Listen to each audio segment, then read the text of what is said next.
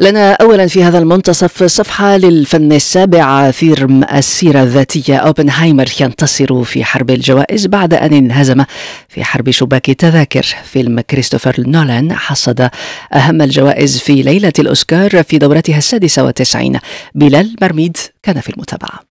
كالمنتظر لم يتوج شريط التونسية كوثر بن هنية بنت ألفة بأوسكار أفضل وثائقي لأن الجائزة نالها باستحقاق الوثائقي Vingt jours à Marioupol الذي يبقى أحسن ما صور حول الحرب في أوكرانيا. السياسة تحضر في الأوسكار؟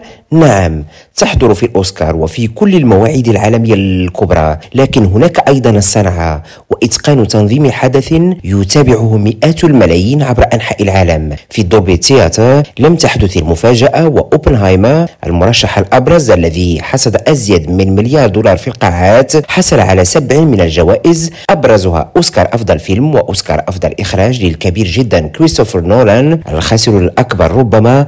فيلم Killers of the Flower Moon مارتن سكورسيزي فيما حصلت إيما ستون على أوسكار أفضل ممثلة وهو ما توقعه أغلب المتتبعين. بالنظر للأداء المبهر في فيلم Pauvres créatures ليوغوس لانتيموس كان من الطبيعي جدا في ليلة الأوسكار أن يصوت الحكماء لكيليان مورفي كأفضل ممثل لأنه لم يترك فرصة لبقية المتنافسين حين جسد دور الظالم والضحية روبرت أوبنهايمر مخترع القنبلة الذرية. سياسة نعم لكن الفرجة مضمونة والاحتفاء بالسينما يتم في أبهى أشكاله في ليلة الأوسكار هو باختصار عام أوبنهايمر في ليلة الأوسكار